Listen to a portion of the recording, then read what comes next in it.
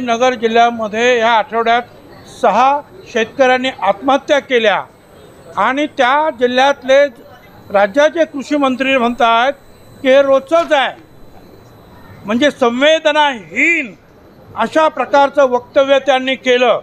खरं म्हणजे शेतकऱ्यांना काहीतरी दिलासा देणारं आधार देणारं वक्तव्य त्यांच्याकडून अपेक्षित होतं.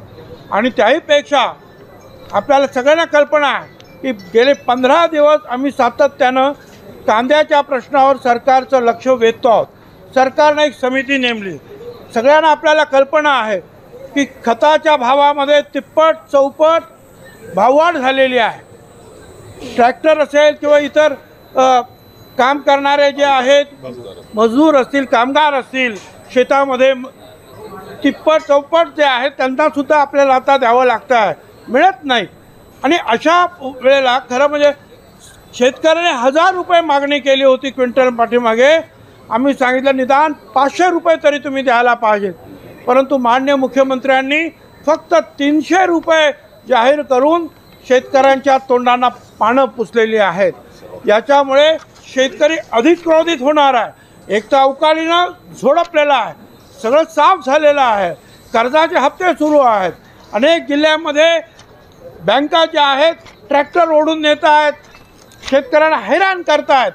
विजेचं कनेक्शन तोडलं जात आहे शेतकऱ्याच्या हातामध्ये पैसा नाही.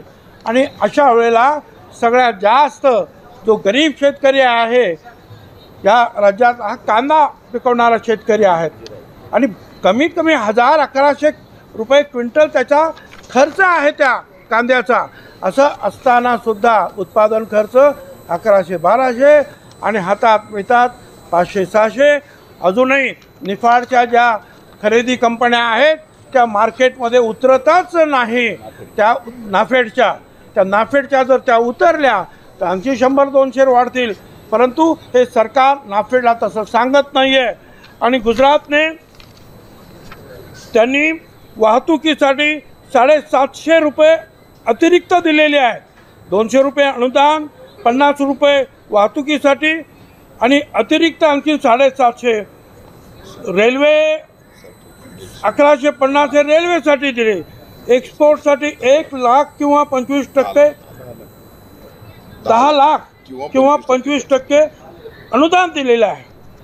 मागेच मी सांगितलं गुजरात सरकारने साडेतीनशे कोटी रुपये जे आहे आपल्यापेक्षाही कमी कांदा उत्पन्न उत्पादन करणारं असं हे राज्य तरीसुद्धा साडेतीनशे रुपये साडेतीनशे कोटी रुपये त्यांना अनुदान दिलं.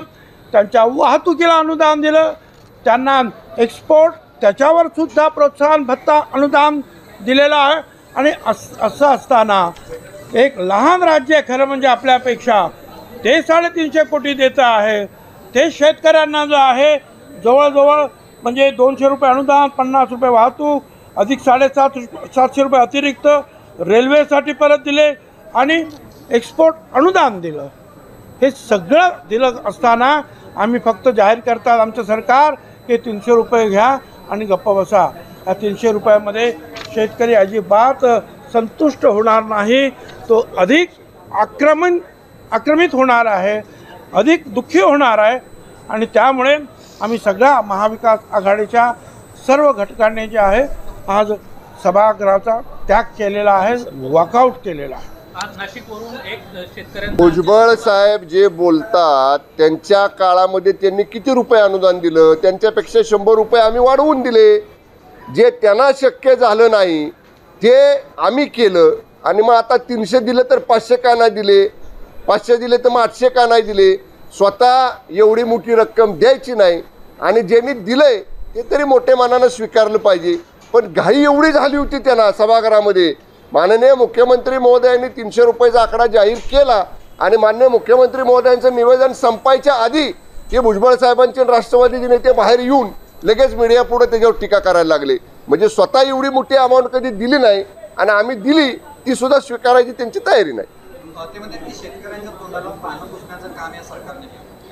साडेबारा हजार कोटी रुपये आठ महिन्यामध्ये आम्ही दिले ते रेकॉर्डवर आहे. अडीच महि अडीच वर्ष पाठीमागच्या काळात ज्यांच्या मंत्रिमंडळामध्ये भुजबळसाहेब मंत्री होते त्यांनी सांगावं त्यांच्या काळामध्ये सहा सात अडीच वर्षात सहा सात हजार कोटी रुपयापेक्षा जास्त पैसे शेतकऱ्याला मिळाले नाहीत. त्यांचे अडीच वर्ष आणि आमचे साडेसात महिने यातला फरक दूध का दूध पाणी का पाणी समोर आहे. सरकारी कागदपत्र उपलब्ध आहेत. त्याच्यामुळं मी सांगतोय काही बोल पण रिटून बोल स्वतःचं झाकून ठेवायसाठी आम्ही चांगलं केलेल्या कामावर सुद्धा अशा पद्धतीने शिंतोड उडवायचं काम ते करतायत. लोक तिकडं लक्ष देत नाहीत. लोकांना सामान्य शेतकऱ्याला माहिती आहे. शिंदे साहेबांच्या सारखे मुख्यमंत्री हे शेतकऱ्याला मदत करणारे आहेत. त्यामुळे निश्चितपणे आमचं सरकार ही शेतकऱ्याच्या पाठीशी असंच कायम उभं राहील. ओके? धन्यवाद.